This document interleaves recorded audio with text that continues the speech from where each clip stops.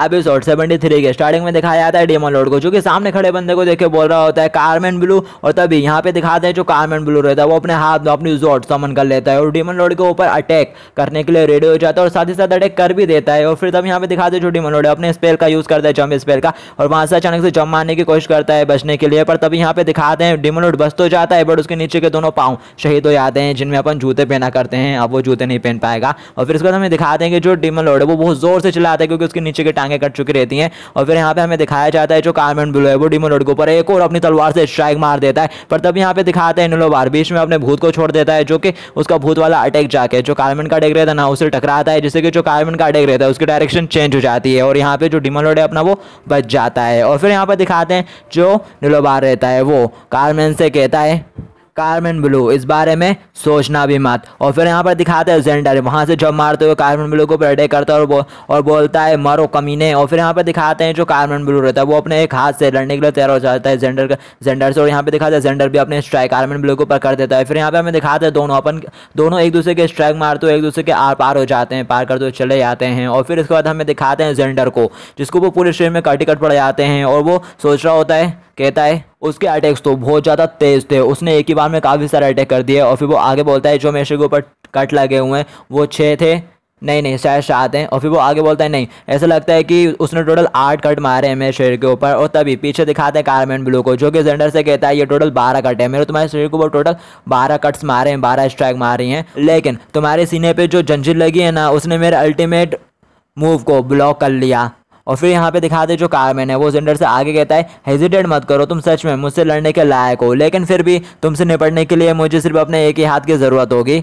और ऐसा कहने के बाद जो कारमेंट ब्लू रहता है, वो अपनी तलवार से जेंडर के ऊपर काफ़ी सारे स्ट्राइक का अटैक कर देता है उसकी तरफ़। और तभी यहाँ पर दिखाते हैं, कोई आता है और जेंडर को बचाते हुए ले जाता है उसके अटैक से। और फिर हम यहाँ पे दिखाते हैं डेमोलोड रहता है जिसने जेंडर को बचा लिया रहता है। और फिर यहाँ पे हमें दिखाया जाता है आयरमैन ब्लू को, जो कि सोच रहा होता है सेबिस्टियन मैं इस चांस का यूज़ करूँगा। ये सब खत्म करने के लिए। और ऐसा कहते हुए वो उसके ऊपर अटैक करता है। इससे पहले कि दिखाते हैं जो नीलोबार रहता है ना, उसने उसके ऊपर अटैक करते रहता है। नीलोबार का एक बड़ा सा भूत कार्बन ब्लू के ऊपर अटैक कर रहता है और उसको खा लेता है, अपने मुँह के अंदर कर लेता है। बट तभी यहाँ पे दिखाते हैं, जो कार्बन ब्लू रहता है ना, वो अपनी जोड़ को पकड़ के गोल गोल घुमाता है, जैसे कि जो नीलोबार का भूत रहता है, वो हटे आता है, उसका अटैक फेल हो जाता है। और फिर यहाँ पे दिखाते हैं नीलोबार कहता है, कान में मिलू, तुम खुद ओवरलोड को नुकसान पहुँचाने की हिम्मत कर रहे हो। ज़रा अपने आसपास देखो। और फिर यहाँ पर दिखाते हैं नीलोबार की एक बड़ी सी आर्मी को। और फिर उसको देख के जो कारमेन रहता है, वो सोचता है, मुझे लगता है कि यहाँ पर ओवरलोड को मारने की कोशिश करना आसान नहीं होगा। और फिर यहाँ पर और फिर इसके बाद दिखाया जाता है जो कार्मेन ब्लू रहता है ना, वो किसी स्पेल का यूज़ करता है और तेज़ी से जाने लगता है सीधे डीमन लॉर्ड की तरफ़ और सोच रहा होता है कि ये मेरा लास्ट चांस है। और फिर इसके बाद हमें दिखाया जाता है नलोबार को, जो कि अपनी आर्मी से कहता है ओवरलोड को प्रोटेक्ट करो। और फिर यहाँ पर दिखा देते हैं, दिखाते हैं डीमन लॉर्ड को और जेंडर को, जिसके डीमन लॉर्ड और जेंडर को यहाँ पर दिखाया जाता है। जो जेंडर रहता है ना, उसके हाथ से, उसकी तलवार छूट जाती है और तभी जो डीमन लॉर्ड है, वो उसकी तलवार को पकड़ लेता है। और डीमन लॉर्ड अपने सामने देख रहा होता है कि जो कारमेन है, वो उसके ऊपर अटैक करने के लिए आ रहा होता है और उसको आदत देखे जो डीमन लॉर्ड है, वो सोचता है अगर मैंने अभी यहाँ पर अपनी तलवारबाजी पर भरोसा करा तो मैं डेफिनेटली हार जाऊँगा। इसलिए अब मुझे अपने बचे हुए इस नेथर एनर्जी का यूज़ करना होगा और ऐसा सोचने के बाद जो डिमोनोड रहता है वो कार्बन ब्लू के ऊपर अपनी तलवार से स्ट्राइक करता है अटैक करता है और कार्बन ब्लू भी अपनी स्ट्राइक करता है अटैक करता है। फिर दिखाते हैं दोनों की तलवार है आपस में टकराती हैं और फिर जो कार्बन ब्लू रहता है ना वो डिमोनोड को पीछे की तरफ़ धकेल देता है और फिर दिखाते हैं डिमन लोड नीचे की तरफ़ गिरने लगता है। उसके हाथ से तलवार और सेंटर दोनों छुड़े आते हैं और फिर यहाँ पर दिखाया जाता है कार्बन ब्लू को जो कि डिमन लोड को गिरता देख के सोच रहा होता है, मैंने एक समझदारी भला, समझदारी भरा फैसला किया है।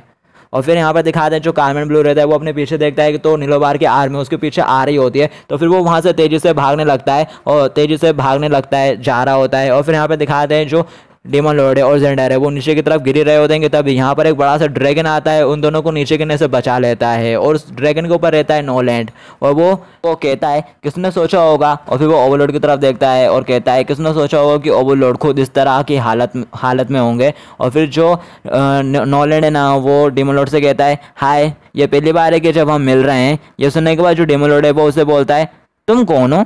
ये सुनने के बाद जो नोलैंड है, वो कहता है, क्या आप मुझे नहीं जानते? मैं कौन हूँ?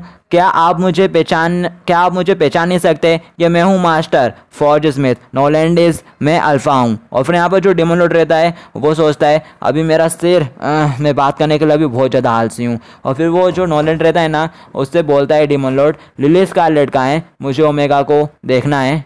डेमन लोड के ऐसा कहते ही दिखाते हैं, जो नॉन लैंडिस रहता है ना, वो एकदम से चेंज होने लगता है। और फिर यहाँ पे दिखाया जाता है, जो नॉन लैंडिस है, वो ओमेगा में चेंज हो जाता है। यानी कि नॉन लैंडिस चला जाता है और ओमेगा आ जाती है। और जैसे ओमेगा आती है, वो डेमन लॉर्ड से बोलती है माई लॉर्ड क्या आप मुझे ढूंढ रहे थे? और फिर यहाँ पे दिखाते हैं जो डेमन लॉर्ड है, वो बहुत ज़ोर से चिल्लाता है और उसकी नाक से खून निकलता है। और फिर जो ओमेगा रहती है, वो नोटिस करती है, उसने कपड़े नहीं पहने। और फिर वो बोलती है, अरे, मेरे कपड़े, उस कमीने नॉन लैंडिस ने, वो कमीना नॉन लैंडिस ऐसे ही करता है। हर बार मेरे कपड़े फाड़ देता है। और फिर वो आगे बोलती है माई लॉर्ड क्या आप ठीक हो? और फिर यहाँ पे दिखाते हैं नलोबार को, जो कि कह रहा होता है। लिलिस कार्लेट वहाँ ओवरलोड के साथ क्या हुआ?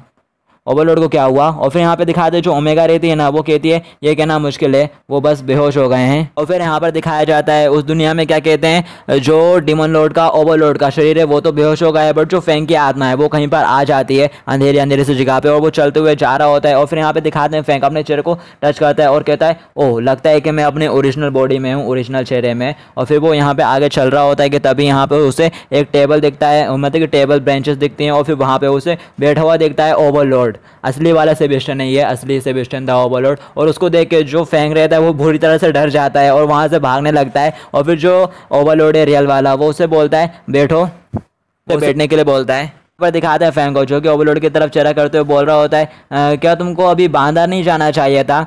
तुम्हारे वो बड़े बड़े पिलर्स कहाँ गए जिनसे तुम बंधे रहते थे? और फिर यहाँ पर दिखाते जो ओवरलोड है ना वो उसे कुछ बताता तो है बट यहाँ पे जो कन्वर्जेशन बॉक्स है, इनके डायलॉग के बॉक्स है, वो खाली हैं। यहाँ पर भी कुछ नहीं दिखा है तो अपन आगे चलते हैं। तो फिर यहाँ पर दिखाते हैं जो ओवरलोड है, वो उसे बोलता है फैंक से यहाँ आओ और बैठो ड्रिंक करो। और वो बताता है, ये शराब एकदम स्पेशल है। और मैंने इसे स्पेशली तैयार किया है। यहाँ जो बेंच पर दिखाई दे रही है, वो उसे बैठने के लिए बोलता है। और जो ओवरलोड है, वो उसे आगे कहता है, मैं तुमको शर्मिंदा करने की कोशिश नहीं करूँगा, बस बातें करूँगा, बात करूँगा। और फिर यहाँ पर दिखाते हैं और फिर यहाँ पर दिखाते हैं फैंग भी टेबल के पास आ जाता है और ओवरलोड से कहता है, क्या तुम रुक कर पूरी लड़ाई ख़त्म नहीं कर सकते थे? तुम्हारी वजह से मुझे क्या कहते हैं, आधी लड़ाई में हिस्सा लेना पड़ा। ओवरलोड सुन के कहता है, इसमें क्या गलत हुआ? इसमें क्या बात है? और फिर जो फैंग है वो बोलता है, हमारी किस्मत अच्छी थी कि जो मून मिरर मून मिरर है ना, उसको मैनुपलेट करने की कैपेबिलिटी सेमिया के पास थी। हमें उसको मतलब कि उसके ऊपर दबाव डालना पड़ा ये सब करने के लिए। और फिर वो आगे बोलता है, अगर वो नहीं होता तो हम लोग जो कार्डिस है ना,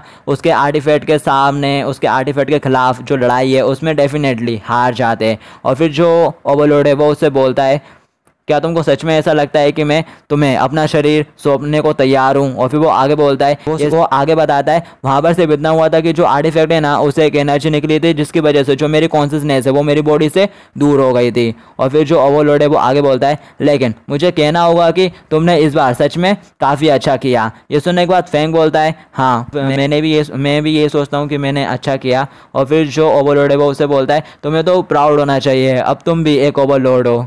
इसको दिखाते हैं ओवरलोड ड्रिंक करने के बाद अपना ग्लास ठप से टेबल के ऊपर रखता है और फैंग से कहता है ड्रिंक करने के लिए। फैंग से भी कह रहा होता है, ड्रिंक करो। और फिर यहाँ पे दिखाते जो फैंग है, वो ड्रिंक के ग्लास को उठा लेता है और वो सूंघने लगता है, कहता है बहुत अच्छी खुशबू आ रही है। क्या ये शराब है, वाइन है? और फिर यहाँ पे दिखाते हैं जो फेंग है। वो ओवरलोड की तरफ़ देखता है और सोच रहा होता है, वैसे ये आदमी आज इतना ज़्यादा अटेंटिव क्यों है? और फिर यहाँ पे दिखाते हैं जो फेंग है, वो वाइन को पीने लगता है। और फिर यहाँ पे दिखाते हैं जो ओवरलोड है, वो ओवरलोड फेंग से कहता है, वैसे क्या तुम जानते हो, हाल ही में मैं अभी कहीं गया हुआ हूँ और उस जगह पर मुझे क्या कहते हैं जूरियो फैंग के जूरियो फैंग कहते हैं और मैं क्या कहते हैं जूरियो फैंग बन के लाइव जी रहा हूँ। तुम्हारी पृथ्वी के ऊपर अर्थ के ऊपर। ये सुनते ये सुनते सही जो फेंग है ना, वो अपने मुँह से पूरी शराब मतलब की पूरी वाइन निकाल देता है और कहता है, रुको रुको, ये बिल्कुल भी सही नहीं हो रहा है, ये बिल्कुल भी सही नहीं है। तुम मुझे बताओ, तुम मुझसे झूठ बोल रहे हो ना? और फिर यहाँ पर दिखाते हैं जो ओवरलोड है, वो उससे बोलता है, मैं सच बोल रहा हूँ और मैं तुम्हारे, क्या कहते हैं स्टेट के बारे में बता सकता हूँ, तुम्हारी पृथ्वी के बारे में, तुम्हारे शहर के बारे में और तुम्हारी माँ के हेल्थ के बारे में। और यहीं पर जो अपना एपिसोड है, वो एंड हो जाता है ओवरलोड के इसी डायलॉग के साथ। फिनिश हो जाता है। देखेंगे अगले एपिसोड में क्या होता है।